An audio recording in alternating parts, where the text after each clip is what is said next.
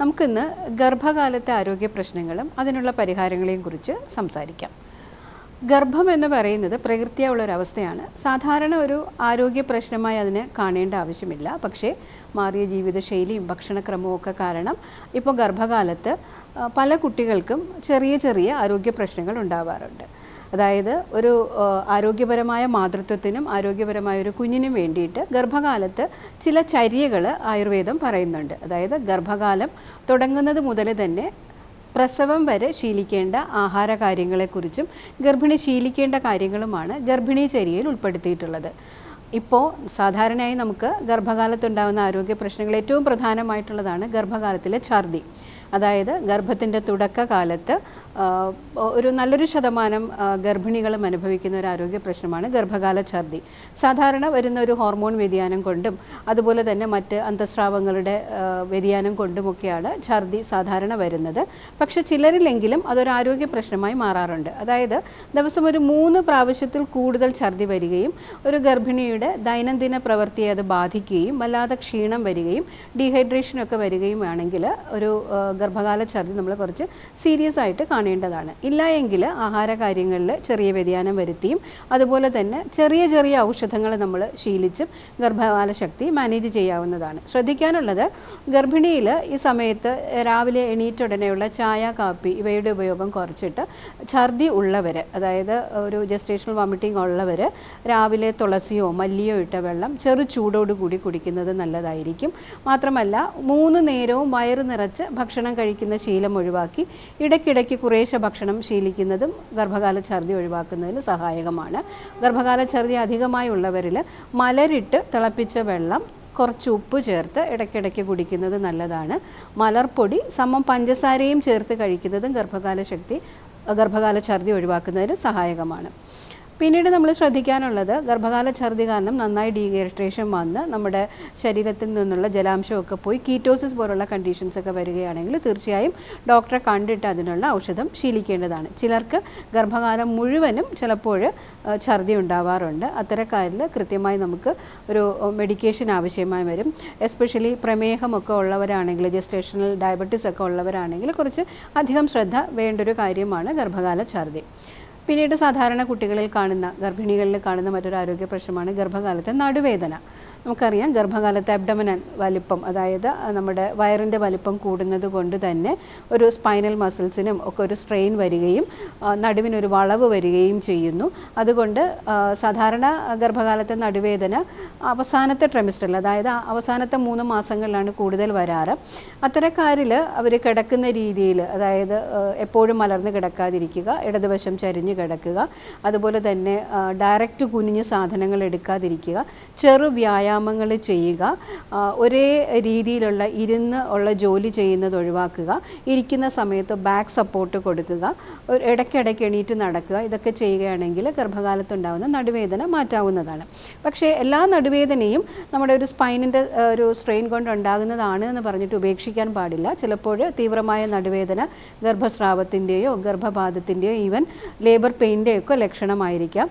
അത് അധിക നേരം നിൽക്കുകയാണ് എങ്കിൽ അതായത് നമ്മൾ ഗർഭകാലത്തുണ്ടാകുന്ന നടുവേദന നമ്മുടെ പോസ്റ്റർ കറക്ഷനും ചെറിയൊരു മസാജും ഒക്കെ ചെയ്യുമ്പോൾ മാറിയില്ല എങ്കിൽ കാലിലോട്ടൊക്കെ വ്യാപിക്കുന്നു.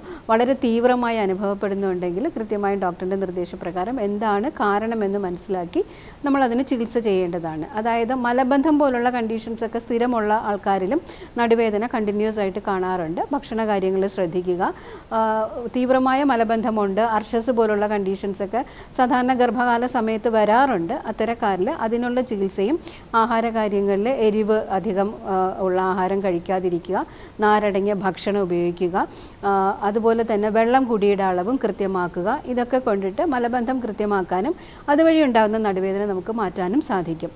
ഏറ്റവും വളരെ ശ്രദ്ധിക്കേണ്ട ഒരു കാലമാണ് ഇന്നത്തെ കാലത്ത് ഗർഭിണികളുടെ മാനസികാരോഗ്യം.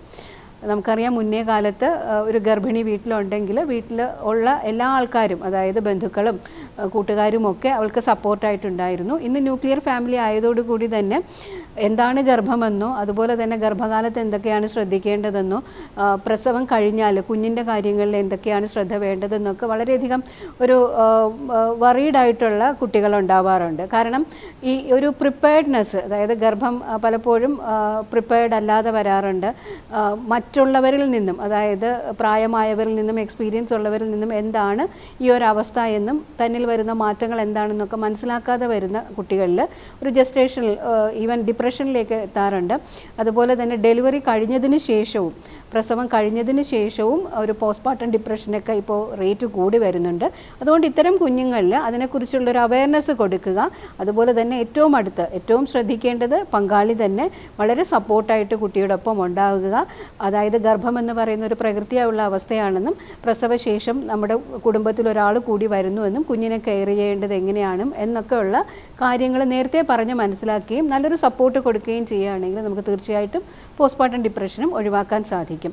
പിന്നീട് ഗർഭിണികൾക്കുണ്ടാകുന്ന സാധാരണ ഒരു പ്രശ്നമാണ് ഗർഭകാല ഒരു ലാസ്റ്റ് മന്തൊക്കെ അടുക്കുമ്പോൾ മുഖത്തും കാലിലും ഒക്കെ നീരുണ്ടാവൽ എല്ലാ നീരും നമ്മൾ ഉപേക്ഷിക്കരുത്. ഗർഭം പ്രസവം അടുക്കുമ്പോഴുണ്ടാകുന്നതാണെന്ന് പറഞ്ഞിട്ട് ബി പി കൃത്യമായി ഇവാലുവേറ്റ് ചെയ്യുക. മൂത്രപ്പഴുപ്പുണ്ടെങ്കിലും മൂത്രതടസ്സമുണ്ടെങ്കിലും അതിനൊക്കെ കൃത്യമായി ചികിത്സിക്കുക. ആയുർവേദത്തിൽ അതായത് ഒരു ഏഴ് മാസമൊക്കെ കഴിയുമ്പോൾ പാൽക്കഞ്ഞിയും കുറച്ച് നെയ്യും ഒക്കെ ചേർത്തും വെണ്ണ ചേർത്തും ഒക്കെ ഭക്ഷണം കൊടുക്കാൻ പറയുന്നുണ്ട്. അതിനോടൊപ്പം ഞെരിഞ്ഞിലിട്ട് വെള്ളം തിളപ്പിച്ചിട്ട് കുടിക്കുക അതുപോലെ തന്നെ ഞെരിഞ്ഞിലിന്റെ പൊടി കഞ്ഞിയിൽ ചേർത്ത് കുടിക്കുന്നതൊക്കെ മൂത്രതടസ്സവും ബി പി കൺട്രോൾ ചെയ്യുന്നതിനും കാലിലും മുഖത്തും ഒക്കെ ഉണ്ട് നീരൊഴിവാക്കുന്നതിനും സഹായകമാണ്. അതുപോലെ ഗർഭകാലത്ത് പ്രമേഹവും നമ്മൾ ശ്രദ്ധിക്കേണ്ടതാണ്. സമയബന്ധിതമായി ഗ്ലൂക്കോസ് ടോളറൻസ് ടെസ്റ്റ് ചെയ്യാറുണ്ട്. അപ്പോൾ നമ്മുടെ ഗ്ലൂക്കോസ് ലെവൽ രക്തത്തിലെ ഗ്ലൂക്കോസ് ലെവൽ നോക്കിയിട്ട് ജസ്റ്റേഷണൽ ഡയബറ്റീസ് എന്ന് പറയുന്നത് നല്ലൊരു ശതമാനം ആൾക്കാരിലും പ്രസവാനന്തരം ഡയബറ്റീസ് കൺട്രോളായി നോർമലായി പോകാറുണ്ട്. പക്ഷേ ചുരുക്കം ചില ആൾക്കാരിൽ പിന്നീട് അത് ഡയബറ്റീസ് ആയി വരാൻ ഡയബറ്റിക് ആവാൻ അവർ ഭാവിയിൽ ഡയബറ്റിക് ആവാനും കണ്ടിന്യൂസ് ആയിട്ട് ഡയബറ്റീസ് അതായത് ഗ്ലൂക്കോസിന്റെ ലെവൽ കൂടി തന്നെ നിൽക്കാനും സാധ്യതയുണ്ട്. ഗർഭകാല ഡയബറ്റീസ് എന്ന് പറയുന്നത് മറ്റ് കോംപ്ലിക്കേഷൻസ് ചിലപ്പോൾ വരാൻ സാധ്യതയുള്ളതുകൊണ്ട് കൃത്യമായ മോണിറ്ററിംഗ് വേണം. അതുപോലെ തന്നെ ഭക്ഷണ ക്രമീകരണം വേണം. ചില ആൾക്കാരിലെങ്കിലും ഇൻസുലിൻ ഇടേണ്ടി വരാറുണ്ട്. കുട്ടിയുടെ വളർച്ചയും ചിലപ്പോൾ അത് ബാധിക്കാറുണ്ട്. അതുകൊണ്ട് കൃത്യമായ മോണിറ്ററിംഗ് വേണം. കുഞ്ഞിന്റെ വെയിറ്റ് അതായത് ഒരു വെയിറ്റ് കൂടിയ കുഞ്ഞുങ്ങളുണ്ടാവാൻ ഡയബറ്റിക് മദറിന് സാധ്യത കൂടുതലാണ്. പിന്നീട് ശ്രദ്ധിക്കാനുള്ളതാണ് ഗർഭകാലത്തെ ഉറക്കം. പലരിലും അതായത് അവസാനത്തെ ട്രെമിസ്റ്റർ എത്തുമ്പോഴത്തേനും ഗർഭ ഗർഭിണികളിൽ ഉണ്ടാകുന്ന ഒരു പ്രശ്നമാണ് ഉറക്കക്കുറവ്. ഉറക്കം വളരെയധികം അത്യാവശ്യമാണ്. കൃത്യമായി ഒരു എട്ട് മണിക്കൂർ ഉറങ്ങേണ്ടതാണ്. അത് സ്വസ്ഥമായ ഒരു സ്ഥലത്ത് ഉറങ്ങുക ഒരു സ്ലീപ്പ് ഹൈജീൻ പാലിക്കുക. കൃത്യസമയം ഉണ്ടായിക്കിരി വേണം ഉറങ്ങുന്നതിന്. കുറച്ച് ഈ ഒരു സമയമാകുമ്പോഴത്തേനും കുറച്ച് നടക്കുന്നതും ചെറിയ വ്യായാമം ചെയ്യുന്നതും ഒക്കെ നമുക്ക് ഉറക്കം നന്നാക്കുന്നതിനും അതുപോലെ തന്നെ നമ്മുടെ സന്ധികളുടെയും പേശികളുടെയൊക്കെ ഒരു സാധാരണ ബലം നമുക്ക് മെയിന്റെയിൻ ചെയ്തെടുക്കുന്നതിന് സഹായകമാണ്. വലിയ സ്ട്രെനുവസ് എക്സസൈസ് ഒന്നും ചെയ്യേണ്ട എങ്കിലും യോഗ മെഡിറ്റേഷനൊക്കെ ചെയ്ത് നേരത്തെ സൂചിപ്പിച്ച് മാനസിക അസ്വാസ്ഥ്യങ്ങൾ ഒന്ന് കൃത്യമാക്കുന്നതിനും സഹായകമാണ്. വ്യായാമം കൃത്യമായി ഒന്നും റെസ്ട്രിക്റ്റഡ് അല്ല പക്ഷേ അതിവ്യായാമം പാടില്ല എന്നുള്ളതാണ്. ചില സന്ധിവേദനകളും പേശിവേദനകളും ഒക്കെ ഈ സമയത്ത് ഉണ്ടാകാറുണ്ട്. അത്തരക്കാരിൽ അവരുടെ എക്സസൈസ് ഡോക്ടറിന്റെ നിർദ്ദേശപ്രകാരം വേണം ക്രമപ്പെടുത്താനുള്ളത്. അതുപോലെ തന്നെ ഗർഭിണികളിലുണ്ടാകുന്ന മറ്റൊരു ആരോഗ്യ പ്രശ്നമാണ് ഈ സമയത്ത് നമ്മുടെ അബ്ഡമൻ വലുതാകുന്നത് കൊണ്ട് തന്നെ സ്കിന്നിലുണ്ടാകുന്ന സ്ട്രയേഷൻസ് അതായത് സ്കിന്ന് വലിഞ്ഞ് സ്ട്രെച്ച് മാർക്സ് ഉണ്ടാവാറുണ്ട്. അത് പിന്നീട് ഒരു ഒരു സൗന്ദര്യ പ്രശ്നമായി മാറാതിരിക്കുന്നതിന് വേണ്ടിയിട്ട് ഗർഭകാലത്ത് തന്നെ സാധാരണ നമ്മൾ ആയുർവേദത്തിൽ നാൽപ്പാമരം പാച്ചോറ്റി കറ്റാർവാഴയൊക്കെ അടങ്ങിയ ഔഷധം യുക്തമായ തൈലം ഒരു നേ ഒരു ആറാം മാസം മുതൽ തന്നെ നമ്മുടെ തുടകളിലും അതുപോലെ തന്നെ വയറിന്റെ സ്കിന്നിലുമൊക്കെ പുരട്ടുകയാണെങ്കിൽ പ്രസവാനന്തരമുള്ള ഒരു സ്കിന്നിന്റെ സ്ട്രെച്ച് മാസും നമുക്ക് ഒഴിവാക്കാൻ സാധിക്കും. ചുരുക്കത്തിൽ ഗർഭകാലം എന്ന് പറയുന്നത് ഒരു പ്രകൃതിയായുള്ള കാലമാണ്. അതിന് കൃത്യമായ ഒരു പ്രിപ്പയർഡ്നെസ് ഉണ്ടായിരിക്കുക കൃത്യമായ ആഹാരശീലങ്ങൾ അതുപോലെ തന്നെ ചെറിയ ചെറിയ ഔഷധശീലങ്ങൾ ഉണ്ടാകുന്ന ആരോഗ്യ പ്രശ്നങ്ങൾക്ക് ഡോക്ടറിന്റെ നിർദ്ദേശപ്രകാരം പെർമിറ്റഡ് ആയിട്ടുള്ള ഔഷധങ്ങളും ശീലിക്കുകയാണെങ്കിൽ തീർച്ചയായും ആരോഗ്യകരമായ ഒരു ഗർഭകാലവും ആരോഗ്യപരമായ ഒരു പ്രസവവും നമുക്ക് ഉറപ്പുവരുത്താൻ സാധിക്കും.